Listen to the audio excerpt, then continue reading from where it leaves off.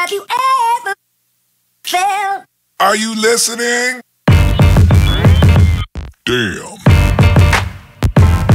Hey guys, it's Babu Johnny Tech Review. I hope you guys are having a good week so far. Today I have a really quick review for you of this pair of wireless Bluetooth headphone. This headphone is a really nice complement to the iPhone 7 jackless uh, design. So of course you don't have headphone jack now, so this will be really great for that purpose. So what is this headphone? This is the Macaw T1000. It's a pretty small pair of headphone and uh, let's go ahead and take a look at it. So inside the box you get the earbuds themselves, a nice false leather carrying pouch, user menu, uh, they also provide an extra set of ear tips which has two set of insulated foam tips and I will get more into that later. With the design of these earbuds, I love the chocolate brown color and the earbuds is pretty small. It barely stick out your ears. The earbuds fits comfortably and I was able to wear for hours with no pinch on my ears. The braided cable keep it tangle free. The inline controller that has a few buttons including the built-in mic. The volume up and down button double as the next and previous track when holding it down while the middle button is a multi-function button that can be used to turn the headphone on and off, play pause, invoke Siri or making call. Uh, keep in mind that when you're using this headphone, the earbuds and the inline controller should be on your right ear. The microphone is also in the inline controller and this is supposed to have the CVC6 noise reduction. Other party can hear me pretty well and here's a sample sound test. Alright, alright, I'm walking away, it. We're just walking around the house, testing one, two, three, hopefully this is coming through well, you know.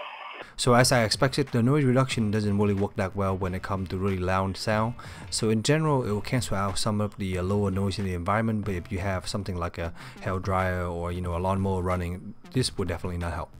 As far as the sound quality, what you can expect out of these pair of earbuds are concise, clear sounds. The bass are present and are slightly overemphasized but are not very strong. This is definitely not a bass head type headphone.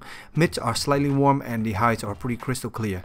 In general, it is a lively pair of earbuds that make it pretty fun to listen to your music. This is pretty good for everyday user, similar to something like the QY8 headphones. These earbuds isolated noise pretty well and with volume at about 50%, you will barely notice any noise from the outside. At the same time, there's barely any sound leak, so you can be sure that no one can really listen to your music or your conversation.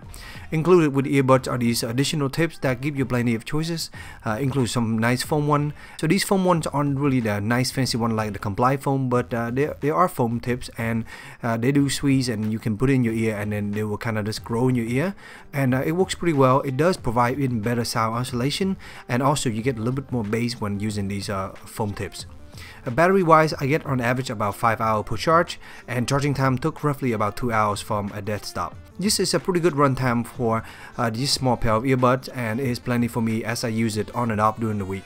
There's a tiny LED next to the charging port that indicate the charging state also. It's red when it's charging and I believe it turns uh, blue when it's finished. So guys, that's pretty much conclude my quick review of this Macaw T1000 Bluetooth headphone. As you can see, it's a very nice design headphone and fit my ear really comfortably. Thanks to Macaw for sending these out for me to review. I'll put a little link in the description box below where you can buy it. So what do you guys think? Are you guys interested in buying one of these or have any other question for me? Just let me know in the comment box. And as always, stay tuned and subscribe for more future review. Thank you.